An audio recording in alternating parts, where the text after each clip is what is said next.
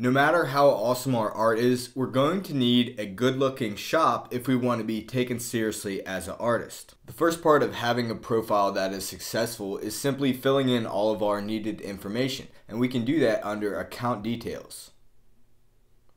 The most important two things here are your short bio and your profile description right here where it says public profile. Your short bio is just that, a short bio that will show up a couple places including right at the top of your profile. It says that um, it should be 140 characters, and if it's not, it's going to get cut off like mine did right there.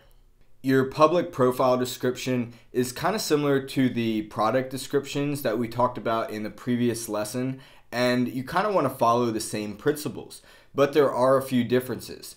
Um, when we talked about our product descriptions, we were focusing on not only catching the eyes of users, but also the eyes of search engines. So we had our link resume point to a bunch of different places on the web. Our public profile description, however, is going to be seen by a lot of eyes. Instead of having to click a button to even see it, it's right there. We can take advantage of this by trying to focus on images, something that will catch the eye and bring in clicks. To add an image that is also a link, all you have to do is put an exclamation point in front of the link to the image as well as after it, and then a colon, and then the link that we're actually linking to.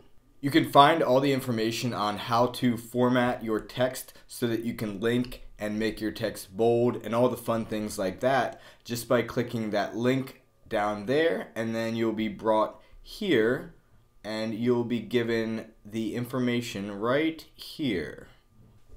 In addition to adding pictures, you can actually embed a YouTube video. So consider making a video introducing yourself or if you do traditional art, maybe painting a picture or something like that.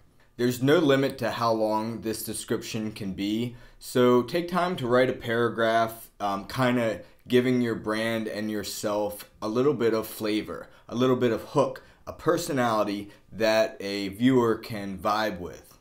Your description is going to show up right here in your portfolio, and you can also edit it right from here. You can see in mine I have um, links to my other websites because I'm really trying to promote those as well as an introductory paragraph which kind of shows what I'm about in a non-direct way and then I have images linking to other websites as well as um, specific categories on the Redbubble site with products. Back under account settings, um, make sure you have a avatar set up if you haven't already. Um, you can also add a cover image, which is a really good idea. And it's 600 pixels tall by 2400 pixels wide. And this is where it sits on your profile. And as it gets wider, it gets bigger and it'll also scale down so it's a really good opportunity to showcase specific art. Uh, maybe if your brand is centered around yourself, you can have a picture of yourself as the artist, or you can just put a collage of different pieces that you've made. Down under artist tools, you'll see product pricing as the top option. Uh, we mentioned in the general strategy that one way to make more money on Redbubble is to increase your percentage commission or your margin. As I said before, I highly recommend upping the stickers from 20% to something like 50% in order to maximize your revenue. And I don't think that this will really cause you to sell less. If it does, um, the sales that you do make will more than make up for that financially. Personally, I haven't adjusted the markup percentage of many other products besides stickers. I kind of leave it at the around 20% that Redbubble sets, but that's completely up to you. One thing I would not recommend is to lower your percentage in an attempt to get more sales. Uh, the people that buy these products know that they're already expensive they are having an emotional attachment to the product. It's something they love. It's a piece of art that they love that they absolutely have to have. And they're probably not going to make a decision based on if it's a dollar or two cheaper than the other shirts on the site. If they like your design, they're going to buy it. Underneath pricing, you'll see Google Analytics. And this is a powerful tool and it'll help you keep track of how many views you're getting and things like that. So if you have a Google Analytics account or if you want to get one, here's how you do it. You get your web property ID and you put it right in here. A little further down, you'll see a link that says promote. Under the promote link, you're going to see that you can send a message automatically to everyone who buys a piece of your work. This is another opportunity to let your brand personality shine through and connect with the consumer. If you scroll down, you'll see that there's an opportunity to put a little widget on a website with HTML. So if you use like Tumblr or something like that, you might want to use that. The last link under your account settings is probably the most important and it's linked to other sites. Here you can put your website, Facebook page, Instagram, Twitter, all these social sites and it'll show up in your bio.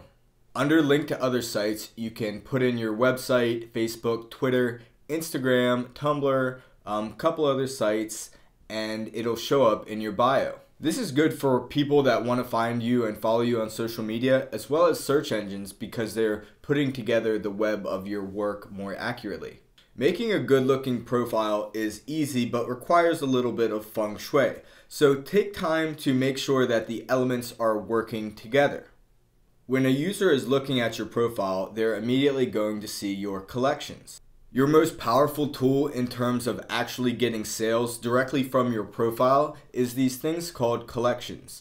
If you're not familiar with collections, they're just collections of artwork.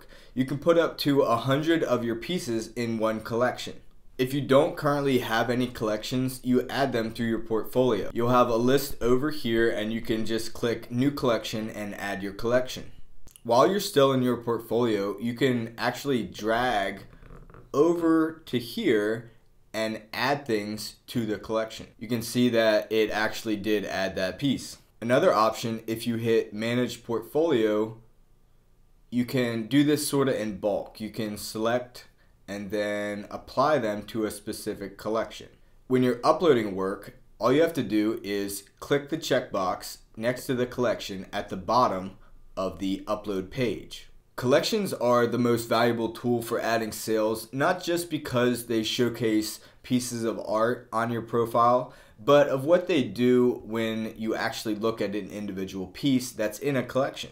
So here is that piece that I just added to a collection a minute ago. And if we scroll down, we'll see that we have these um, little wheels down here which show more artwork. And these are actually the collections that this belongs to.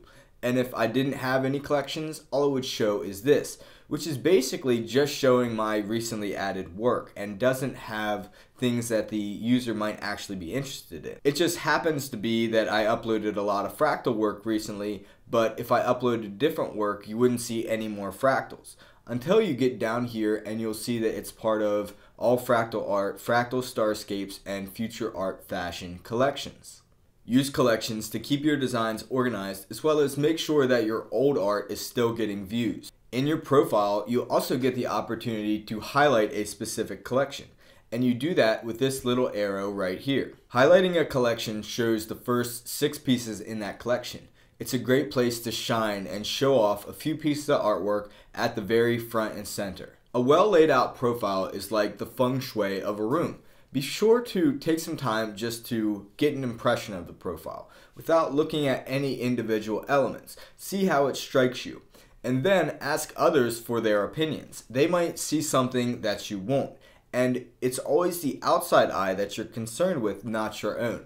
As the artist, you're always going to have your own opinion of what you want shown or how you think that you're being presented. When in reality, the person who's seeing it might think completely differently. Take time to focus on the vibe that you're getting from your page.